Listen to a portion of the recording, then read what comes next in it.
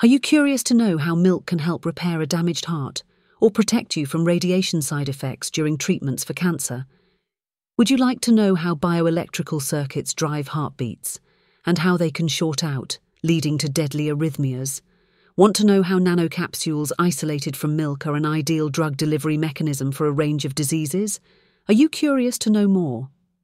For this story, and more, Register today at medicalresearch.org.nz event for this free live event to be held at 6pm on Monday, October 13th. This event is organised by the Auckland Medical Research Foundation, marking 70 years of funding medical research, partnering with Shaw and Partners, Auckland University of Technology, and the University of Auckland. For the last seven decades, the Foundation has provided funding to enable world class medical researchers who are transforming lives.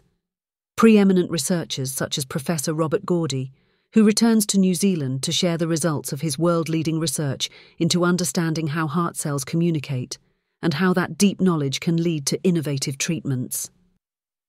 Professor Gourdie and Professor Donna Rose Addis are speaking at the last of this year's public 70th anniversary events hosted by the Auckland Medical Research Foundation. Join us to hear from these two distinguished speakers at this free live event at 6pm on Monday, October 13th. Register today at medicalresearch.org.nz/event.